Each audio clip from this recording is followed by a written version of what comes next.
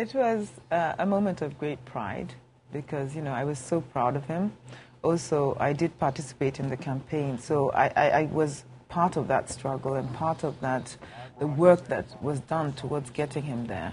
So it was just kind of a moment to exhale and, and, to be really, really proud to be part of what he had been able to achieve. And what for me was even uh, more important and, and, more moving was the fact that so many people uh, from so many different backgrounds within America, the diversity of America, culturally, you know, with the different language backgrounds, that they all were behind him. And it really speaks to who we are as a family as well. The fact that he's able to combine all these different peoples to come together and believe in what he was trying to achieve for his country. And I was just immensely proud of him, and I still am. You were actually a bridesmaid at his wedding to Michelle. Yes, I was. In Chicago. Yes, I, I bet that wasn't like your average Kenyan wedding, right?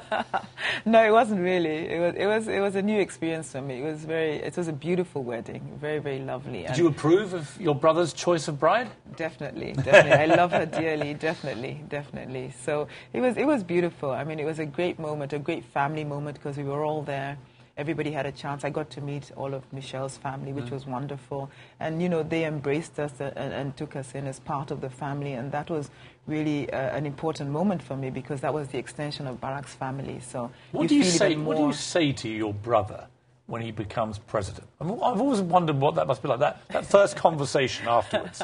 Can you remember what you said to him? I said, "Well done, little brother. Well done." Not much more to say, really, is there? No, no, because he's always my brother and he remains my brother, and to me, that's the most important.